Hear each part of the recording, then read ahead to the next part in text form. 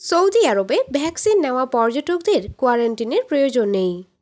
Corona ভাইরাসের vaccine গ্রহণ করা পর্যটকরা সৌদি আরবে গেলে কোনো কোয়ারেন্টিনের দরকার পড়বে না।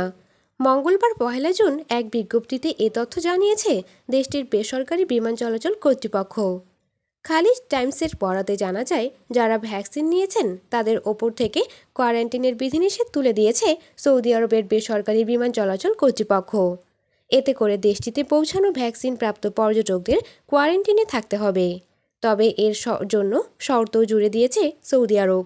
বিজ্ঞপ্তিতে বলা হয়, কোয়ারেন্টিনের বিধিনিষেধ থেকে বাঁচতে পর্যটকদের অবশ্যই ভ্যাকসিন সার্টিফিকেট সঙ্গে রাখতে হবে। শুধুমাত্র Pfizer BioNTech, Moderna, Oxford, AstraZeneca এবং জনসন অ্যান্ড জনসনের উদ্ভাবিত করোনার ভ্যাকসিন সার্টিফিকেটগুলোই গ্রহণ করা হবে। এ বিষয়ে সৌদি স্বাস্থ্য মন্ত্রণালয়ের মুখপাত্র doctor Mohammed Al Jabed Al Ali জানান, বিজ্ঞপ্তিতে উল্লেখিত প্রতিষ্ঠানের টিকাগুলো নিরাপদ প্রমাণিত হয়েছে, যার কারণে শুধু সেসব টিকা নেওয়া পর্যটকদের ছাড় দেওয়া হবে। তবে এর জন্য তাদের সার্টিফিকেটের প্রয়োজন হবে।